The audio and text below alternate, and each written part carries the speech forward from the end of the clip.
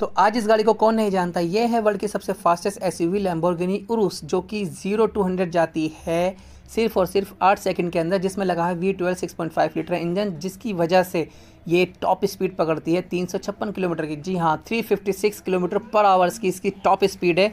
अब ये हो गई इसकी स्पेसिफिकेशन की बात अब थोड़ी सी बात करते हैं इसकी मॉडिफिकेशन के रिगार्डिंग क्या इस गाड़ी को भी मॉडिफिकेशन की ज़रूरत है, जो कि साढ़े चार से और साढ़े पाँच करोड़ के बीच की सिर्फ़ एक्स शोरूम आती है? जी हाँ इंडिया के अंदर अराउंड ऑन रोड पड़ती है, साढ़े छः से सात करोड़ की है।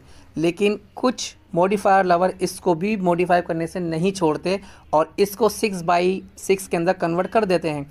लेकिन कूपे शेव होने की वजह से, जो इसकी रूफ टॉप है, वो कूपे शेव होने की वजह से, क्या आपको लगता है इसकी जो थर्ड रो सिटिंग एरिया होगा, जो थर्ड रो वाला सिटिंग एरिया होगा, वो ज़्यादा प्रैक्टिकल होगा, उसमें एक एडल्ट फिट हो पाएगा लिमोजिन बनाने के बाद भी या नहीं?